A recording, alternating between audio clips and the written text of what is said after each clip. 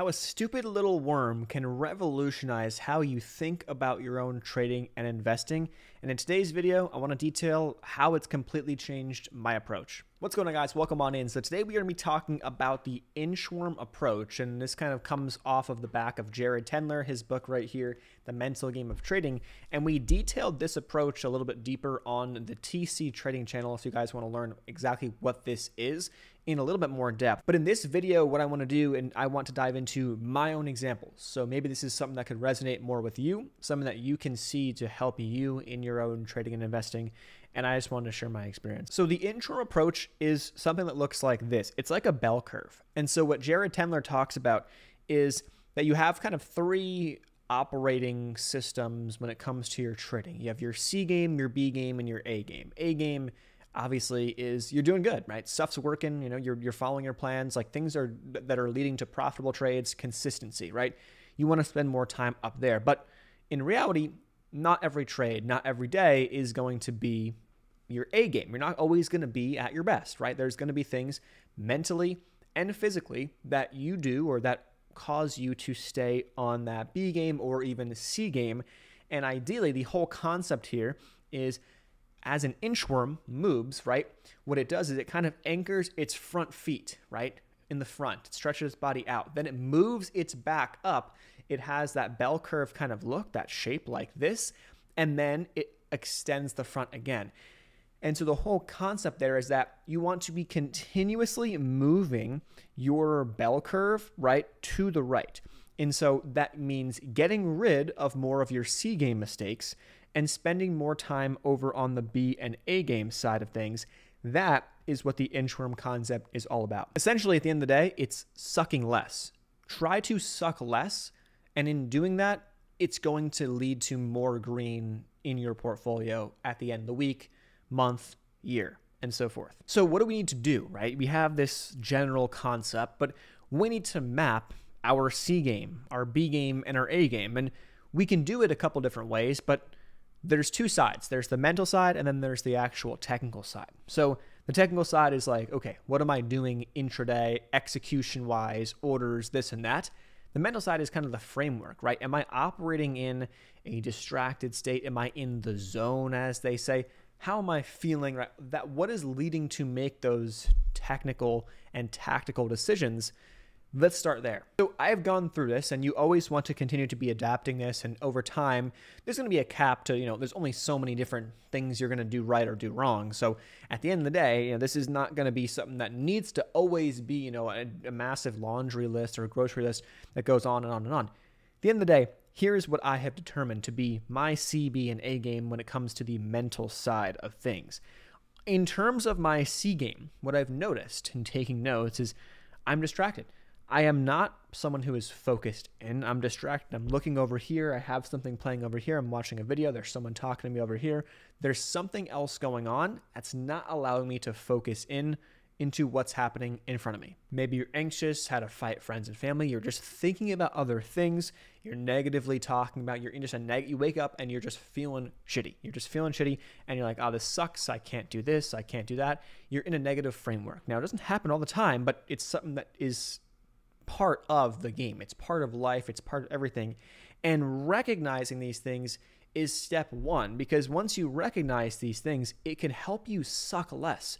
If I'm waking up and I feel like that, I had a horrible fight with someone or this or that, and I'm just feeling shit, then I know that and I might step away. I might not touch a single chart. I might not look at a single chart today because I just know that I'm going to be operating, number one, in my C game. I'm in the C game. I am in the C game. And until I get myself out of the C game, I need to step away because the C game leads to losses. And do I need to be taking losses? No. And sometimes having no trades, having a zero P&L for the day is actually a win. We can get into patience, fighting the trend, and even overconfidence, right? I come in, had a great day, and I feel like I am on top of the world. And I'm like, I know everything I got. I figured it out. I know what's going to happen next. And that is not a recipe because at the end of the day, you just simply don't know what's going to happen next. And if you're operating under that mindset, you might be right six, seven, eight times out of 10.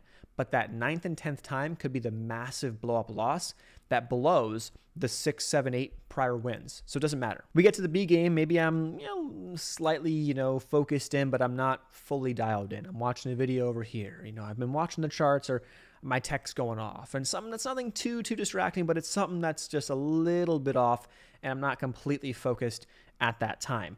Could be overthinking, could be a slight hesitation, maybe going against my gut, might work out sometimes, might not, and then even a slow reaction. So you see something that you like or you don't like, and you just don't act fast enough because you hesitated for a second. And this leads to some winners, some losers. Maybe you're green if you're more experienced, maybe you're break even, and if you're less experienced, maybe you're still a little bit red, but it's not like you're blowing up, it's not having the worst days. There's still some positives to take away when it comes to your trading. Then you get to the A game. Relaxed, in control, patient, trusting the plan, not fighting the trend, and just laser focused. I mean, that's at least for me what I feel is when I'm at my best. These are the different things that are leading to that success from kind of a mental perspective before we even get into anything technical. But speaking of the technicals, let's talk about the tactical skill. So here what I'm what you're realizing is that you guys can see if I zoom back in, you know, we have a lot in the C game. And that's good. That's not a bad thing because what that allows you to do is to eliminate and work on these things actively so that you can move that bell curve forward. Like that's the whole point is sucking less. Have less in the C game and then make less of these mistakes and then you'll be more you'll spend more time on that B and A game, which means that you'll be green more often, right? That's what it essentially means. Once you take a step back and start, you know, actually tracking some of these things. So, what's some C game from a tactical perspective? Chasing price. And when I say chasing price, it could be deeply chasing price. You could chase some prices a little bit here and there, but deep chasing price like saying, "Hey, this risk reward is now way out of my favor, but I still think that it could go this much more. I still want to get in now." And then you're going to be underwater within seconds if it reverses. And that's something that, from a technical perspective, is stupid and I cannot afford to do. Not respecting stops, something that happens to everybody. If you don't have a hard stop on there, or you, you move that stop last second, like that is one of those things that I recognize as leading to bigger losses than I need. Impulse. This is probably the biggest one. Impulse trading. Impulse trading is probably the biggest biggest issue that I have and that it also comes from training at the gym, holding, you know, randomly buying stuff, not having any, I, you know, not having a thought process in place before I take the trade, seeing that I, hey, I know this is going to happen, or at least it, it stems from an I know or I think I know what's going to happen next. That's what it stems from, and it stems from seeing charts for so long, and as you kind of watch things, you're like, oh, that pattern, that's a this pattern, without taking a step to recognize where the stop would be, where the profit would be, how much range do you have? Is the risk reward making sense? You just enter the trade. Sometimes it'll work for me, but more often than not, I will recognize that that, or I recognize that that is what leads to the majority of my losses, plain and simple. That is my number one thing that I absolutely need to work on and eliminate from my game. When it comes to B game, there could be things like cutting early, scalping. You know, you could be good with scalps. I'm not a big fan of scalps. I've found that scalps, I didn't want to put it in the C game because I can make money sometimes. And I generally speaking, you know, don't lose a ton of money on scalps, right? I do cut them off pretty quick. That's just me. But I found that it's not a consistent, it's not something that I want to be doing on a consistent basis. It's definitely a B game. It's not a game at all by any means. Also, things like entering before the full plan. Like you could do that and back your way into making that plan after you enter. That kind of stems off the impulse trade. But maybe I did that and it wasn't a scalp type of trade. You know, we were looking at a bigger picture chart, 15 minute chart, 20 minute chart, you know, 30 minute chart, whatever, hour charts, whatever. So I'm not really at risk of hitting my stop loss like in two seconds. Whereas if you're looking at the one minute chart, like, yes, you could be. And so you can't really, well, you could impulse trade, but you got to be quick to recognize stops. So it's one of those things where I'll enter the trade, then back my way in to take profit and stops, and then recognize oh, I could have got a better entry, and I end up making or missing out on some gains because I had a bad entry, or having a, a little bigger of a loss than I ultimately needed to because I wasn't patient on at, or entering that trade when I needed to. Then when it comes to A game, clear understanding of market direction and movers. Like I have a good feel. Okay, we're going up, we're going down today. It's a choppy day, it's a trend day. Like getting a good feel for that, that leads to being pretty successful in terms of the A game. Clearly having levels. Like I can see clear support resistance. I have charted it out, I have it under control, and I see it. Letting price come to my spots and then entering on my spots, kind of one of those things that kind of the impulse trade and the entering before the full plan were just keeping me shy of, of that full potential, right? But A game, I'm not doing that. I'm, I'm actually executing properly, okay?